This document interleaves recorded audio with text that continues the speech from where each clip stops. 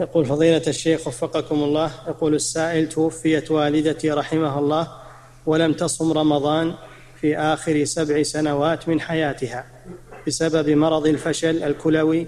هل يجوز إخراج الكفارة نقدا؟ ولو كان جائزا نقدا فهل لي أن أخرجها لأقارب لنا محتاجين؟ الذي مرضه مزمن لا يرجى شفاؤه وأفطر من أجله هذا يطعم عنه. وعلى الذين يطيقونه فدية طعام مسكين. عن كل يوم فدية طعام مسكين.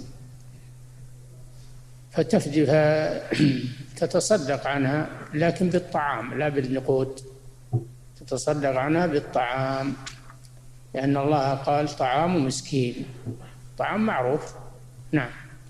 يقول وهل لي أن أخرجها لأقارب لنا محتاجين؟